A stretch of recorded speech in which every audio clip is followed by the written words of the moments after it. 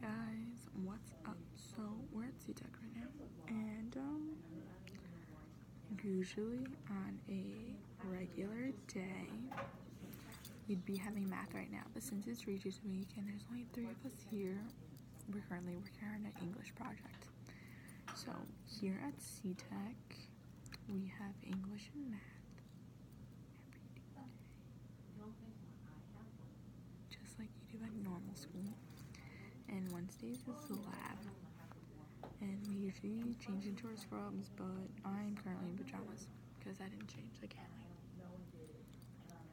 And we're gonna see how my English project is going.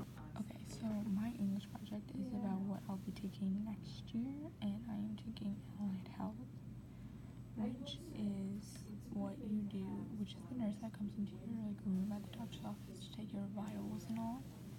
So responsibilities.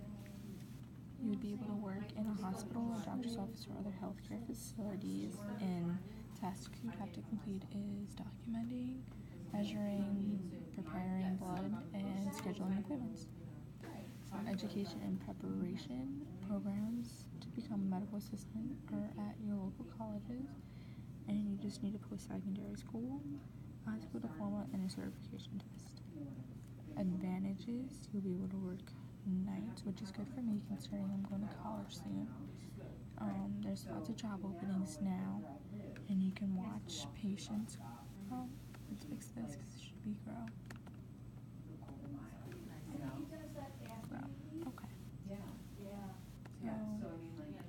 so disadvantages it's easy to get sick and you have long hours and you have to be 18 to legally work and get your certification